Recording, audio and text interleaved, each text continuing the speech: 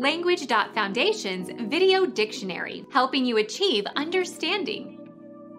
The true blackberry of Europe as well as any of numerous varieties having sweet edible black or dark purple berries. True blackberry.